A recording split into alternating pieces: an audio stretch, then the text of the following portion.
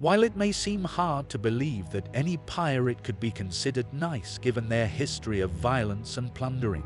there have indeed been examples throughout history who managed to gain notoriety not just for their daring adventures, but also for their kinder approach towards their captives and others they encountered at sea.